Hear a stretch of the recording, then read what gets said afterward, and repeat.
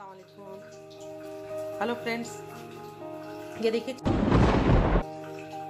Mix करके रखा है। ये चिकन के जो रान है, देखिए, कितनी अच्छी तरह से मिक्स हो गया ये।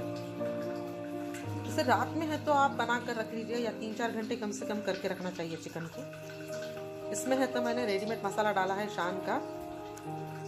शान का तंदूरी चिकन मसाला। और उतना ही डालकर बस नहीं किया इसमें अपने red chilli red chilli powder turmeric powder ये लाल मिर्च पाउडर जो है आप एक चम्मच डालिए बस।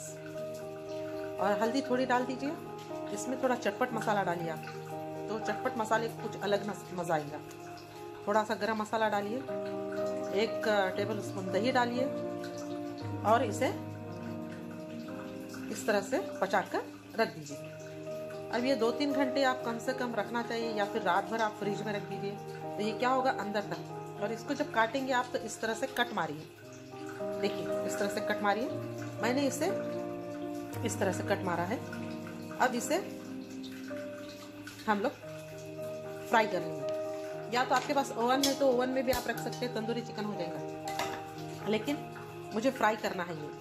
हालाँकि तंदूरी मसाला लगाया है, लेकिन फ्राई करना है। अब ये फ्राई करने के लिए ये पैन में मैंने पहले तेल डालकर रखा था, देखिए अब इतना तेल डालिए कि उसके अंदर आराम से डूब जाए। ज़्यादा तेल नहीं लेना चाहिए क्योंकि तेल वेस्ट भी होता और अब इसे अच्छा गर्म होने दीजिए। जब ये अच्छा गर्म होगा, तभी चिकन को डालिए। वरना ठंडे में डालेंगे थोड़ी देर के बाद चिकन जो है इसमें चिपक जाएँगे नीचे। ठीक है? ये चिकन मसाला है और ये पैन में मैं अब इसको तलूँगी। इस मसाले में और एक बार सुनिए आप क्या क्या डाला है। इस चिकन को मैंने पहले लिया, इस तरह के पीस, पूरे इस तरह के पीस है। देखिए, ये रान का पूरा अक्खा पीस है। इसको कोयले पर भी भून सकते हम लोग। आज कोयले पर भूनने का ही इरादा था इसका, हम लोगों को, लेकिन ऊपर टेरेस पे जो है आज डस्ट उड़ रही हाफिल बाकी में सऊदी अरेबिया की यहाँ पर डस्ट बहुत उड़ती कभी कभी इसलिए ये है। तो अब इसे हमने, मैंने तलने का सोचा है।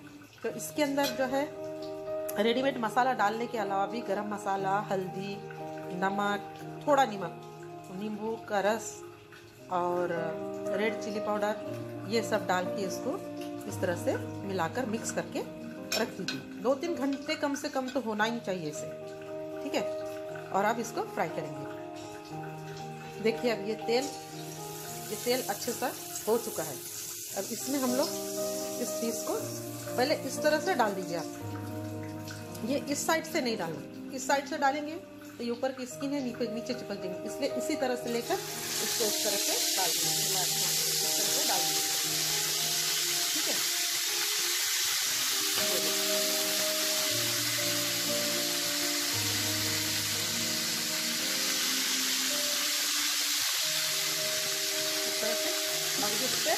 हमें इसके ऊपर ऑयल डालना ये ऑयल डालेंगे तो ये स्किन जो है, बाद में हम पलटाने के बाद चिपके भी नहीं और अब आँच को थोड़ा मीडियम कर दीजिए। पहले हमने आँच भी तेज़ रखी थी, अब मीडियम कर लीजिए।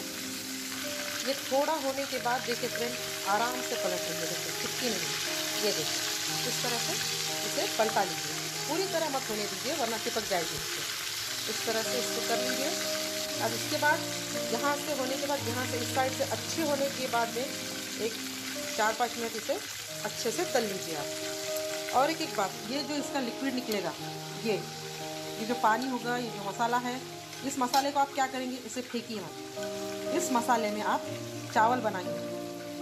चावल को बॉईल कर लीजिए। चावल बॉईल करने के बाद जो है, उसको, ये जो मसाला होगा, ये मसाले को आप ऑयल में थोड़ा सा फ्राई कर लीजिए, ज़ीरा डालकर।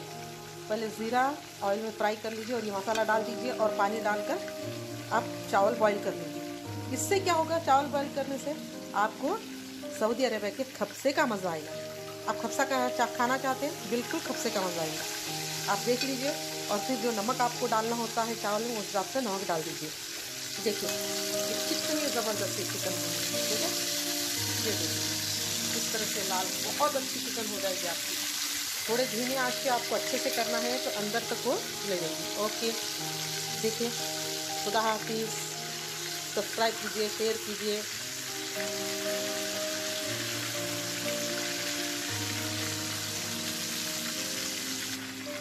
अब देखिए ये मेरी चिकन।